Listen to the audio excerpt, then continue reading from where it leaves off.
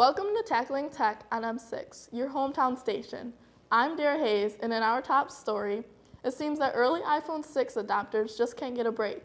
Just recently, there was a hashtag Bendgate, a movement on Twitter and other social media sites concerning the fact that putting your iPhone 6 in your jeans pocket would cause the phone to bend. Now there's hashtag Hairgate, where the iPhone 6 user's hair is being snagged between a seam in the aluminum backing and the front glass.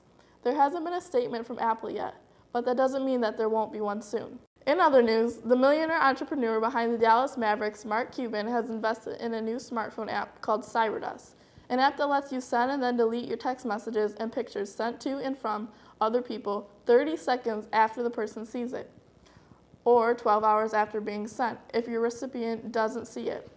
Videos isn't supported yet, but it's on its way. Recently, Google has taken their Street View technology and put it in on the back of a camel for use in deserts. The new technology can be useful to make a course for a trek across the desert. The technology uses multiple cameras allowing for 360 degree shots of the deserts and cool shots.